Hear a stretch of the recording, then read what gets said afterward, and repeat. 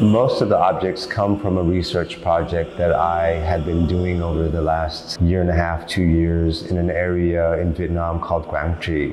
Quang Tri sits right below the 17th parallel, which was known as the DMZ, the Demilitarized Zone, during the American War in Vietnam. Because of where it was, Quang Tri was bombed with a ridiculous amount of ordnance. And a lot of the ordnance did not explode when they were supposed to. And I've been working with this community and working with different people in the community that are faced with the kind of challenges of living with unexploded ordnance in their land.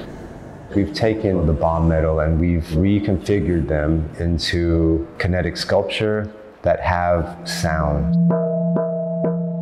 You're not supposed to touch the art, but I'm just gonna adjust this real quick.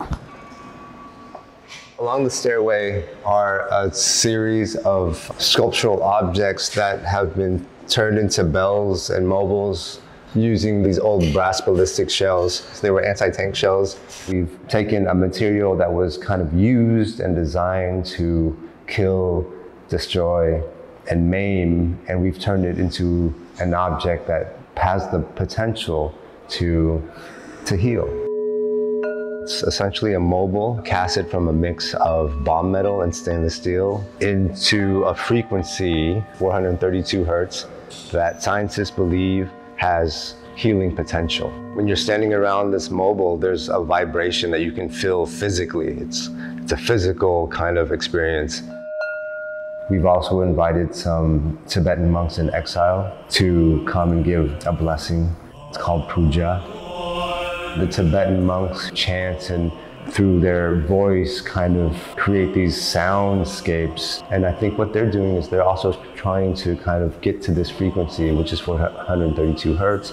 And it's actually the, the kind of frequency that the earth is vibrating at. So what we're actually doing is we're getting in tune with the cosmic frequency of, of our planet.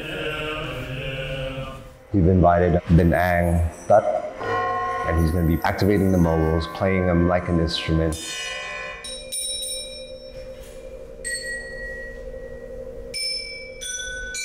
He's also brought his dan bau, which is a monochord string instrument, traditional to Vietnamese music. So it's an exhibition that connects multiple parts of the world together. And, you know, I think New York is extremely diverse. And I hope that audiences can kind of find themselves in some of the work that we're exhibiting here at the new museum. When you're visiting a museum, viewers can't often touch the objects, and when these objects cannot be touched or activated by anyone, they don't perform, they don't function the way they were meant to perform.